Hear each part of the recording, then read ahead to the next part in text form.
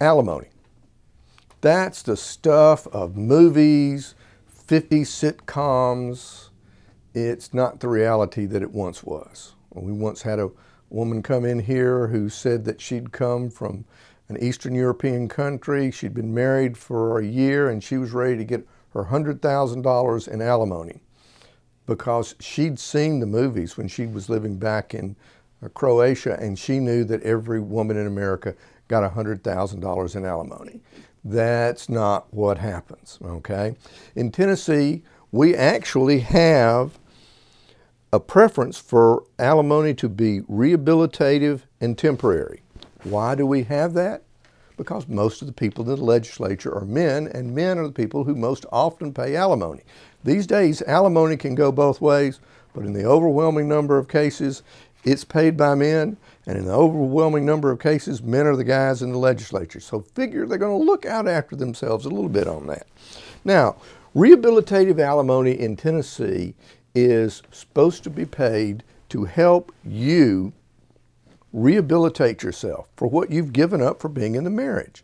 You've been married for 10 years. You were on your way to getting your medical degree, and you stopped after your first year medical school to help your husband in his stock trading business and raise the, the children. Well, now he's found a younger, cuter version of you. He's out pursuing her, and you've got to start your life over again. So it's only fair to pick up where you left off in medical school, for him to pay for you to complete your education to be what you were supposed to be. Okay? In addition to rehabilitative alimony, because not everyone's getting ready to graduate from medical school, there's transitional alimony. You know, I've been married for a period, significant period of time, and you're going to need some alimony to help you get from where you are with your property division that you got in the divorce to where you need to be. Then there's alimony in futuro.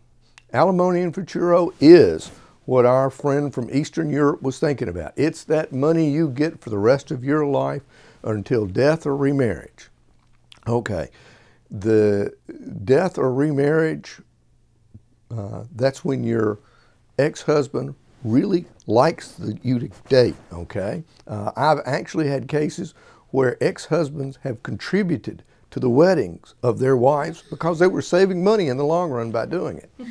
uh, now, another thing about alimony, and watch this, is alimony that is subject to a contingency such as death or remarriage, which rehabilitative alimony uh, and alimony in futuro can be, and under certain circumstances you could even make transitional alimony that way, is deductible to the person that's paying it and taxable to the person that's receiving it. With that, you can sometimes get a tax advantage by paying alimony. But even with a tax advantage, most people don't want to pay alimony. And most people would like to get it. So, there's one more form of alimony for us to, to know about. It's called alimony in solido. Alimony in solido is a specific defined amount.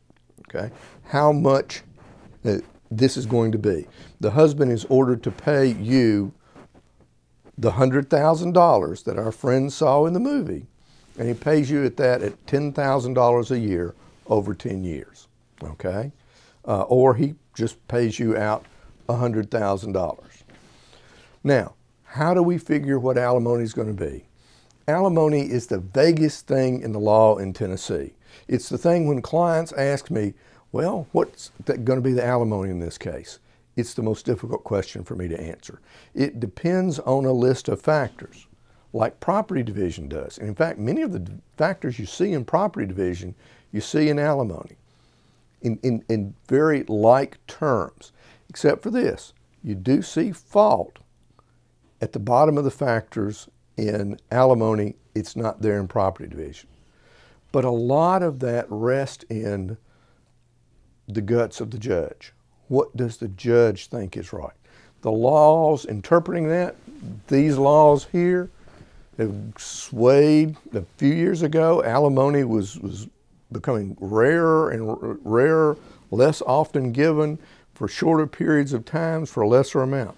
Pendulum swinging back the other way now. More alimony's being given out. By the time you get your divorce, you're going to have to ask your lawyer where that pendulum has swung to. Uh, because only a lawyer who keeps up with the law is going to know the trends and, more importantly, know the judge you're appearing in front of. So, alimony, they're factors. And if you go on our website, aboutdivorce.com, you can see those factors.